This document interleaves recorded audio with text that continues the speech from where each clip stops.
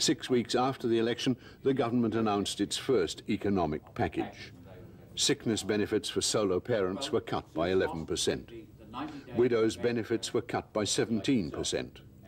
The dole for adults under 25 was cut by 25%. Charges for doctors' visits and medicines were increased. The public health system would be reviewed, education spending was cut, and further reports commissioned. The welfare state was being redesigned. Basically, uh, if you move with enough speed, as they had, uh, for that December 19 package, you can get away with it. But what's very clear, though, is that the December 19 package was written long way before the 1990 election. It wasn't prepared after the election. It was probably in full preparation in August, September, before the election.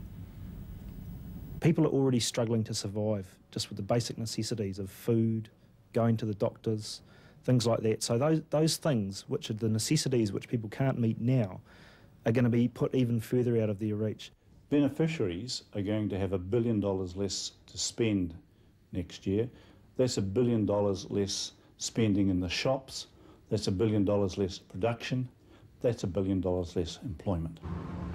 Lower benefits were necessary for the next step in the New Right programme, reducing labour costs by cutting the pay packets of unskilled, low-paid and young workers. One of the major reasons why this government has had to face up to doing the things that we announced uh, is that we need to create the gap between work and welfare. Yeah, signed and sealed. One copy for you, one for me.